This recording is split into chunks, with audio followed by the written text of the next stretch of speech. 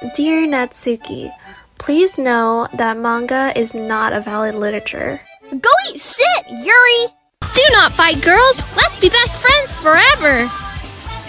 Sayori, you're allowed to listen to our discussion, but no one is talking to you. Yeah, go eat shit, Sayori!